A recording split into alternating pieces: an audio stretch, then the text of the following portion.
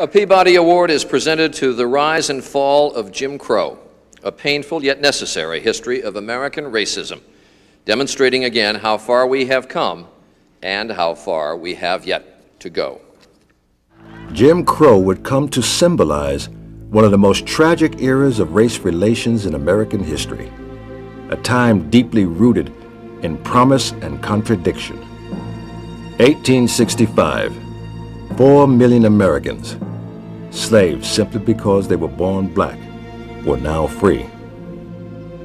But in little over a decade, that promise was gone replaced by a rigid system of laws designed to keep blacks from experiencing any of their newly achieved rights.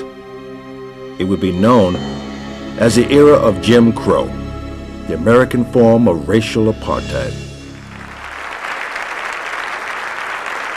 William Grant, who is Director of Science, Natural History, and Features Programs for 13 WNET New York, is here to accept the Peabody Award.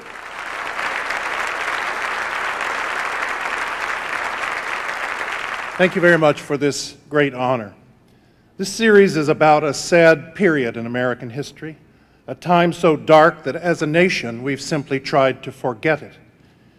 It was in 1994 that the series producer, Richard Wormser, developed this project in the hopes he could give voice to the many millions of African Americans who were born, lived, struggled, suffered, and died in the time of Jim Crow.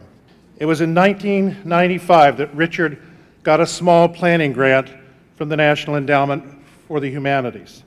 In the years that followed, Southern Humanities Councils all across the South gave grants that kept the project alive.